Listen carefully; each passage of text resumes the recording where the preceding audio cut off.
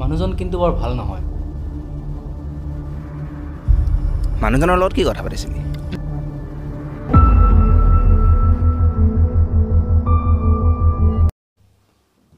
মোক মাৰিবি হা? আমাৰ কলেজত দুটা বস্তু ফেমাছ ঐ নিখিল ৰ'বাচোন।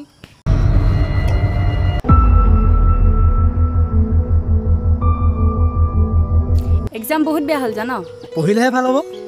নিজে কেইডাল ফালিছে দেখিছোঁ নহয়।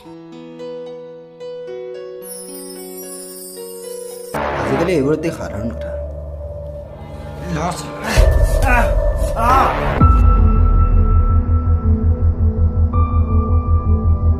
দাদা কিতাপখিনি?